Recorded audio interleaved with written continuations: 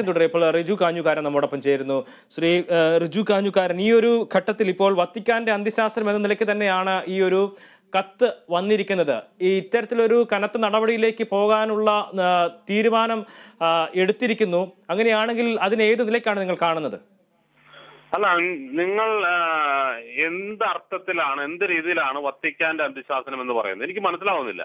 ഞങ്ങൾ ഇയാൾ വന്ന ഈ മാർ സിറിൽ അബ്ബാസിൽ വന്നൽ അന്ന് മുതൽ അത് വരുന്നതിന് മുമ്പേ ഇദ്ദേഹത്തിനെ കുറിച്ച് ഞങ്ങൾക്ക് ഡൗട്ട് ഞങ്ങൾ പ്രകടിപ്പിച്ചിട്ടുള്ളതാണ് വന്ന അന്ന് മുതൽ ഇദ്ദേഹത്തിന്റെ അപ്പോയിന്റ്മെന്റ് ഓർഡർ എവിടെയാണ് എന്ന് ചോദിക്കുന്നത് ഇന്ന് വരെ നിങ്ങൾ കണ്ടിട്ടുണ്ടോ എന്നറിയില്ല ഞങ്ങളോ ഞങ്ങളുടെ വൈദികരോ കണ്ടിട്ടില്ല.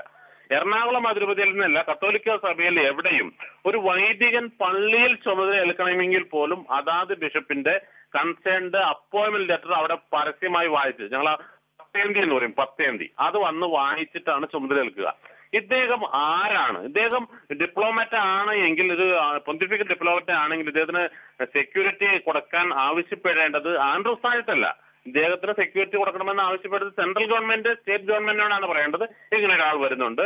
ഇദ്ദേഹം വത്തിക്കാന്റെ ഡിപ്ലോമാറ്റ് ആണ്. ഇദ്ദേഹത്തിന് ഡിപ്ലോമാറ്റിക് ഇമ്മ്യൂണിറ്റി ഉണ്ട്. അതുകൊണ്ട് ഇദ്ദേഹത്തിന് ആവശ്യമായ സെക്യൂരിറ്റി കൊടുക്കണം എന്ന് പറയേണ്ടത് സെൻട്രൽ ഗവൺമെന്റ് ആണ്. പക്ഷെ ഇവിടെ വളരെ രസകരമായ സംഭവം Mar Andrews Thazhath central state ഗവൺമെന്റിനോട് വന്നിരിക്കുന്നു ഇദ്ദേഹം പൊന്തിഫിക്കൽ ഡെലിഗേറ്റ് ആണ്. ഇദ്ദേഹത്തിന് ആവശ്യമായ സെക്യൂരിറ്റി കൊടുക്കണമെന്ന് ലെറ്റർ അയച്ചിരിക്കുന്നു. ആ ലെറ്റർ ചീഫ് സെക്രട്ടറി കൺസേൺഡ് ആയിട്ടുള്ള ഡി ജി പി മറ്റ് സെക്യൂരിറ്റി ഫോഴ്സുകൾക്ക് ഫോർവേഡ് ചെയ്തിരിക്കുന്നു.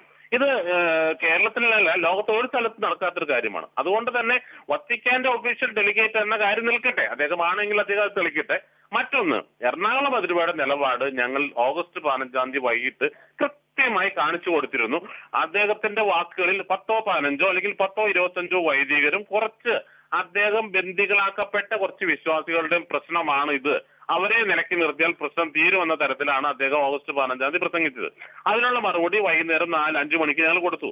എറണാകുളം അതിരൂപതയിലെ നാനൂറ്റി അമ്പത് വൈദികർ ഒപ്പിട്ട പ്രമേയവും എറണാകുളം അതിരൂപതയിൽ മുന്നൂറ്റി ഇരുപത്തി എട്ട് ഇടവകളാണുള്ളത്. അതിൽ തന്നെ ഇരുന്നൂറ്റി അമ്പത്തി ഏഴ് പാരിഷ് കൗൺസിലുകളുണ്ട്. ഈ മുഴുവൻ പാരിഷ് കൗൺസിലുകളും പാസ്സാക്കിയ റെസൊല്യൂഷൻ ഇവിടെ ജനാഭിമുഖ കുർബാന മാത്രമേ നടക്കൂ എന്നും ഇവിടെ മറ്റൊരു ആരാധന കൃപി രീതി ഞങ്ങൾ അടിച്ചേൽപ്പിക്കാൻ അനുവദിക്കില്ല എന്നും പറഞ്ഞ് ഇറനാഥ വിശ്വാസികൾ അഞ്ചര ലക്ഷം വിശ്വാസികളും ഒപ്പിട്ട പ്രമേയം ഞങ്ങൾ പാസ്സാക്കിയിട്ടുണ്ട്.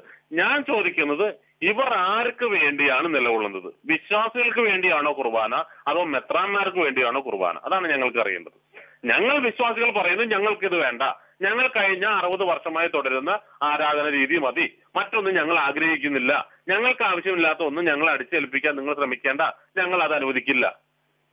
അത്